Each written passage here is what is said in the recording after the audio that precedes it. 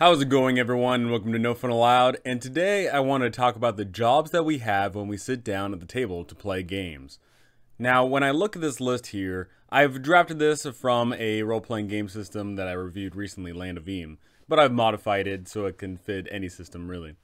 I will be using this for every campaign here on out. I'll be showing it to the players and I will be reminding myself of this because job does sound tedious. Job probably isn't the best word for it, but at the end of the day, we are sitting down and playing with a group of people, and there needs to be some clear goals in mind. And with that, of course, there will be some jobs that we have to do.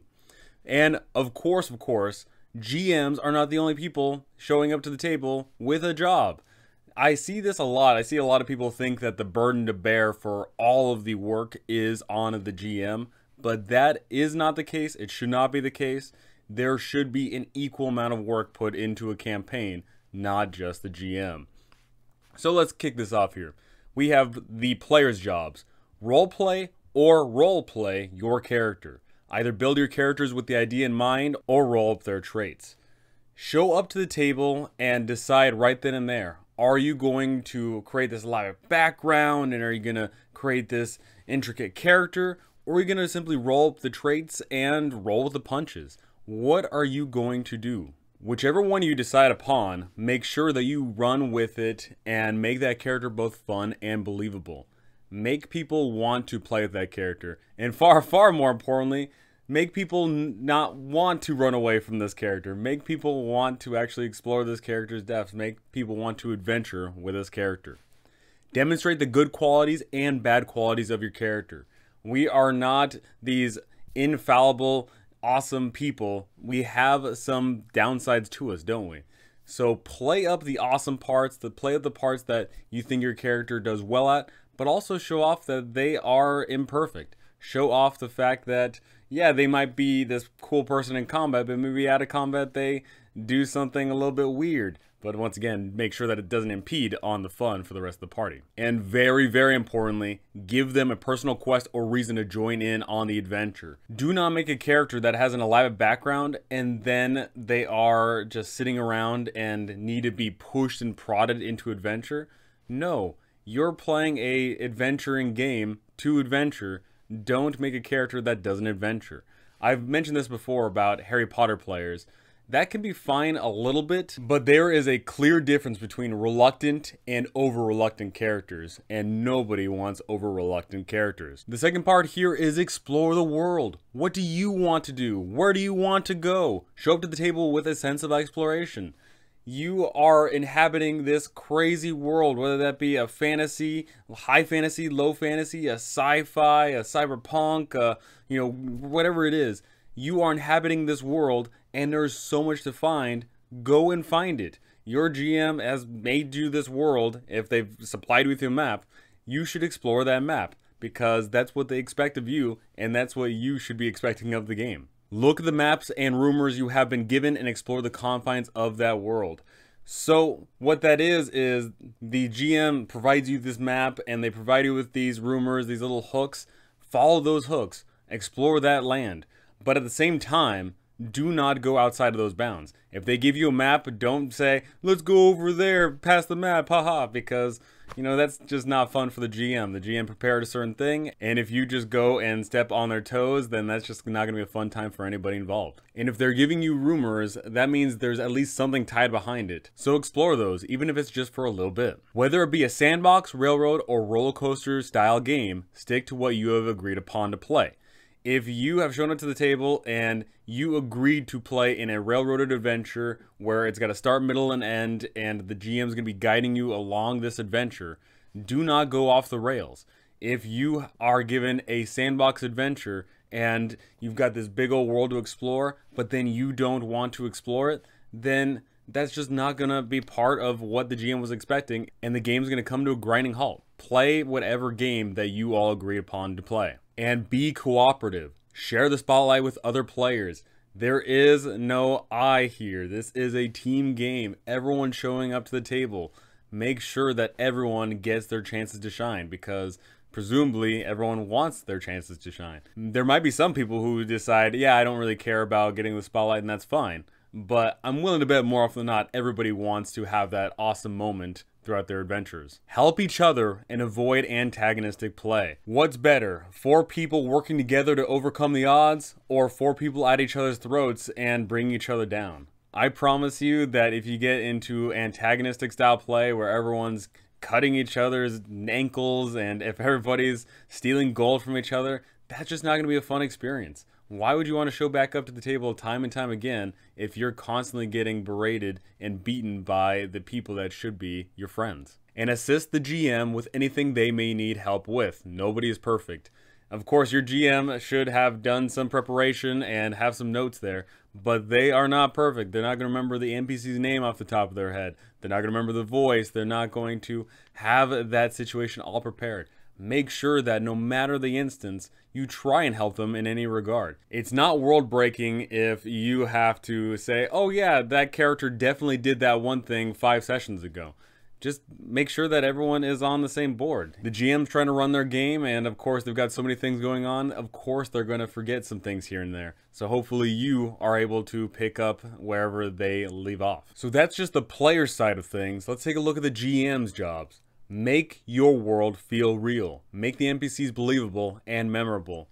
Of course, your characters are going to interact with a nameless NPC when they ask a question of, oh, hey, what's going on in town? That's fine.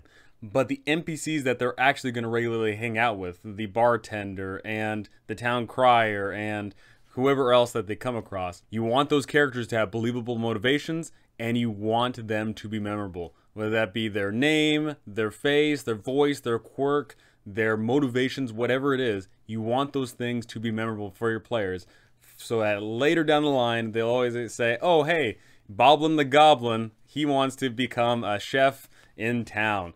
So what are we going to do to help out Boblin the Goblin? Populate a play area with enough NPCs and quests to provide a fun experience. If you make a whole awesome sandbox style island that your players are ready to explore, but then you forget to add any sort of quest or forget to add any NPCs there, then there's just going to be a blank space, and I think a lot of people are going to lose interest real quickly.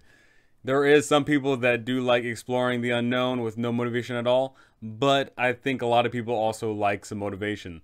Instead of it just being a blank empty island, say, hey, we heard that there's a mine that was uh, overtaken oh so long ago. Oh, hey, over there in the forest, there's apparently some spiders, and the spiders captured someone really rich the other day. Oh, there's an NPC in town that is actually looking for adventurers just like you. Provide these things, and that is going to make your world feel a bit more lived in. Tie the PCs into the world either through knowledge or through unique opportunities. That can come in the form of these long, amazing, elaborate quests that tie into the characters' backgrounds, or it could be the fact that as your players are marching along, you say, hey, your character would know this about this forest, or your character would know this thing about this one graveyard, etc., etc your characters populate this world and they've presumably been living it for quite some time. So they should have a huge amount of knowledge. Give them that knowledge. Don't hide everything behind rolls. Just give them some things that they should presumably already have. And the plots and plans of the NPCs help shape the world just as much, if not more, than the PCs. Of course, the spotlight is always on the PCs unless you're willing to have some cutscenes that take place somewhere else but the PCs are just a small band of adventurers or whatever type of game that you're running. The NPCs are far, far more numerous and far more influential. The kings are moving about their kingdoms. The emperors are trying to take over land. That evil, crazy dragon is now trying to destroy the local population. The NPCs should be regularly interacting with the world and your players should be seeing those changes over time. They are, of course, changing whatever they come across for the better or for the worse, but they should be hearing about, oh, hey, because you guys failed to stop all those evil bugbears, now those bugbears have taken over this local town. What do you wish to do? Give the PCs interesting and difficult choices. Make them weigh their options. If you give them several options, but there's just one always clear better option, they're always going to take it. So give them choices that force them to sit there and deliberate. Say, hey, if you go to the left, you are going to be going up against a spike pit trap, but you go to the right, you go up against saw blades. Simple things like that can go a long way. Ramp up the tension, then give them moments of respite. Give them awesome, cliffhangery, crazy daredevil style scenarios, but then at the same time also give them moments where their characters are free to rest and relax. Those moments are going to showcase off what the characters are going to be really doing because some of them might prefer the more crazy combat, weird scenarios, and some might prefer the rest and respite back home. Push the game forward, don't allow the game to grind to a halt. We do not want our game to come to a halt. We show up to the table presumably only once a week for only a few amount of hours. Do not allow anything to waste your time. Don't get hung up on rules. Don't get hung up on that one missing piece of information just keep moving forward. You can always correct things later, you can always look up rules later, but what you can't do later is get back the time that you lost from your session. Challenge the players, but also be their biggest fans. Reward creativity. The players are going to come up with solutions you never thought of. If you create a crazy elaborate trap, they're going to do anything and everything to try and overcome it, and that might be something that you didn't think of whether that be they have some spell that they haven't used but they're going to use it now or they use that item in that weird way where they try to jam it into the slot or they try to throw it at a certain spot or whatever the case may be. They're going to be creative. Reward it. And don't punish them by saying oh no you can only do this thing one way. Speaking of Allow for more than one solution to a problem. If your players are in the dungeon and the door is locked with a key, and the key can only be obtained by going to this one specific room and looking behind this one specific tile, that's to suck.